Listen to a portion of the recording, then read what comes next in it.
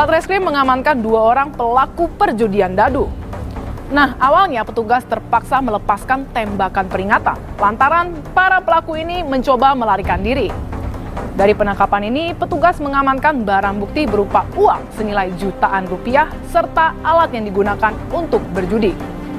Bruensis, ingat, mungkin perjudian bisa membuat kalian kaya sesaat, tapi yang namanya duit haram pasti dimakan setan.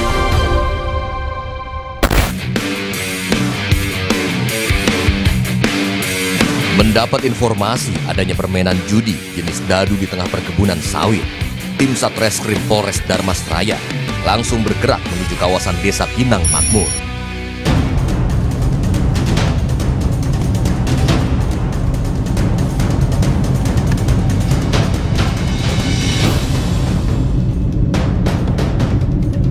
Tim berburu dengan waktu untuk memergoki para penjudi saat sedang bermain.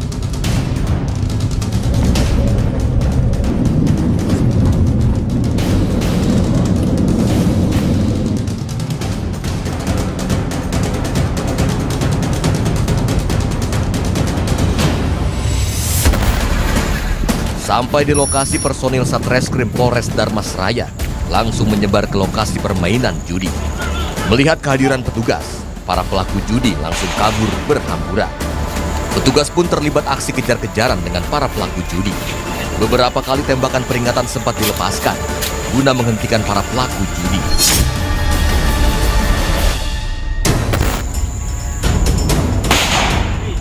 Dalam penangkapan ini petugas berhasil mengamankan dua orang, yakni seorang bandar dan satu orang pemain.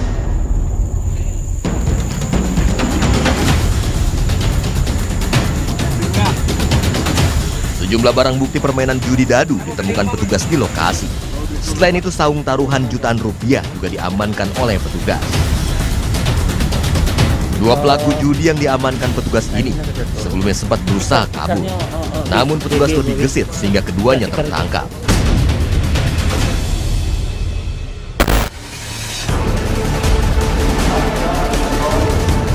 Permainan judi sengaja digelar di tengah kebun agar tidak diketahui oleh aparat kepolisian.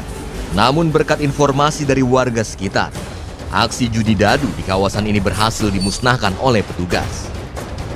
Permainan judi dadu dilakukan sejumlah pekerja kebun sawit yang membuka lapak dengan alasan mengisi waktu kosong saat beristirahat siang hari. Kedua pelaku yang berhasil diamankan oleh petugas langsung dibawa ke Mapolres Darmas Raya guna dilakukan pemeriksaan. Kini kedua pelaku judi sendiri harus mempertanggungjawabkan perbuatannya.